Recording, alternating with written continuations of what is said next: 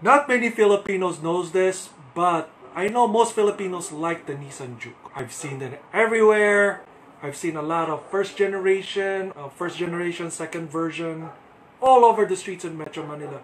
Seems like the Filipinos like their Juke. Unfortunately, Philippines hasn't even bothered to bring the second generation here yet.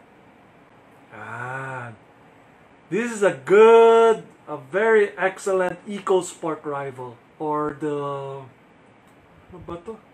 some other uh, B segment crossovers that is sporadically showing up here in the Philippines. Unfortunately, in the US, we don't get this. Although also because we got the Nissan Kicks. Surprisingly enough, I saw the Nissan Kicks a couple of months ago here in here in the Philippines. That is, it says under diplomatic. I bet he imported that Nissan Kicks here in the Philippines. It looks far boring compared to this. Unlike the previous generation Juke that is powered by a 188 horsepower 1.6 liter turbo four cylinder. Did we have the turbo here in the Philippines? I know in the US they have the Nismo and the Nismo RS that is 200 horsepower.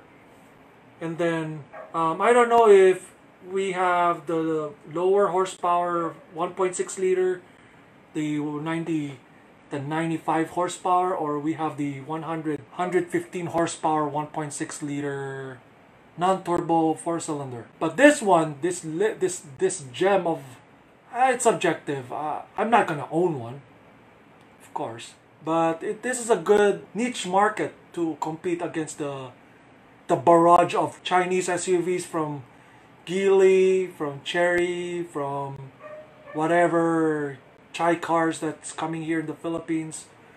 This is a good this is a good prospect for Nissan Philippines to bring it here. Just like the non-turbo 1.6 liter engine from the previous generation, this one has the same 115 horsepower but a turbo 3 cylinder now. And unfortunately as of this right as of this recording, this is its only engine. Pretty good. I I'd rather have this compared to the to the stupidly overhyped CHR. And none of those I'm gonna buy. No. I'd rather get the Suzuki Swift Sport instead of this. But, of course, Filipino is all porma, man. Yeah, man, tingnan mo. LED lights, a little uh, LED sa taas. Very nice, man. Very porma, man. Sobra. Tingnan mo, pa, kulay red horse pa nga, oh. Oh, see? Look at that, man. Most Filipinos will lo- love this car because it's all porma, man. Basta porma, ja, basta Japorms. Wala akong pakialam sa performance, man. Basta, basta guwapo. Basta guwapo.